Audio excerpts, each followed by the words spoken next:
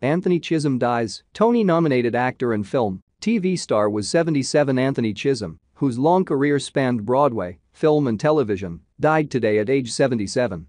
No cause was given by the Katz Company, his talent management. Chisholm earned a 2007 Tony nomination for Best Featured Actor in a Play for his role in another August Wilson's play Radio Golf. He was born on April 9, 1943 in Cleveland, Ohio, and was drafted by the U.S. Army in the 1960s, serving as a platoon leader for the 4th Armored Cavalry, 1st Infantry Division in the Vietnam War. Upon returning to the U.S., Chisholm performed in The Boys from Syracuse and the Threepenny Opera at Karamu House in Cleveland, Ohio. He made his film debut in the 1968 Uptight, directed by Jules Dassin. That launched a career that saw him in such films as Putney Swope in 1969 and Cotton Comes to Harlem in 1970.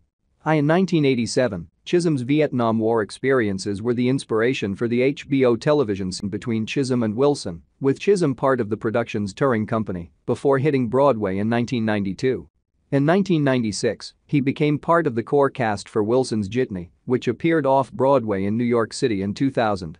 In the early aughts, Chisholm was prisoner Burr Redding in the HBO crime drama series Eras, before returning to the stage with Wilson's Gem of the Ocean in 2004. In 2007, Chisholm portrayed Elder Joseph Barlow in Wilson's Pittsburgh Cycle, earning a Tony Award nomination for his portrayal. Chisholm received the NAACP Theatre Award, the Audelco Award, the Ovation Award, and the IRNE Award. He also received nominations for the Drama Desk, Drama League, NAACP Theatre Award, and Audelco Awards